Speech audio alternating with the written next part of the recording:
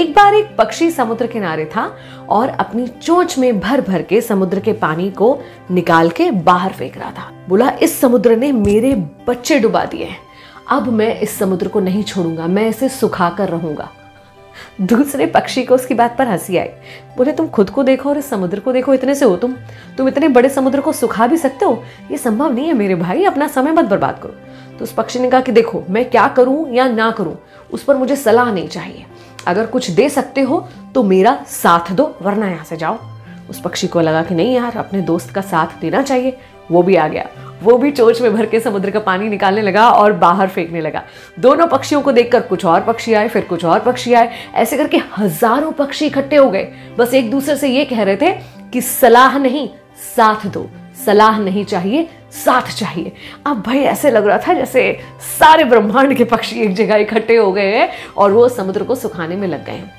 ऐसे में पक्षियों में जो सबसे श्रेष्ठ कहे जाते हैं, भगवान विष्णु के वाहन गरुण, उन्होंने सोचा कि मैं भी अपने पक्षी भाइयों का साथ दूँगा।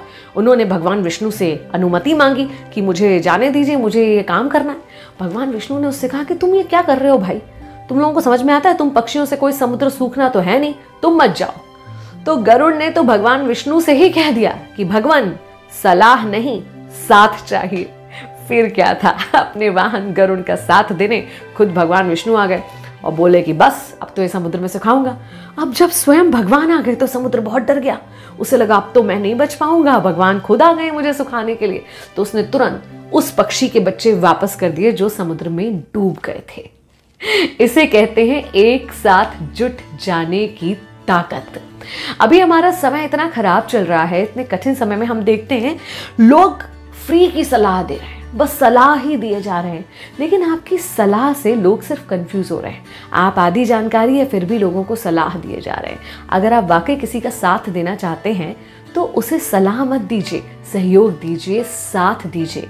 अगर आप मदद करना चाहते हैं तो आपकी सलाह से कुछ नहीं होगा। आपके साथ और सहयोग से होगा।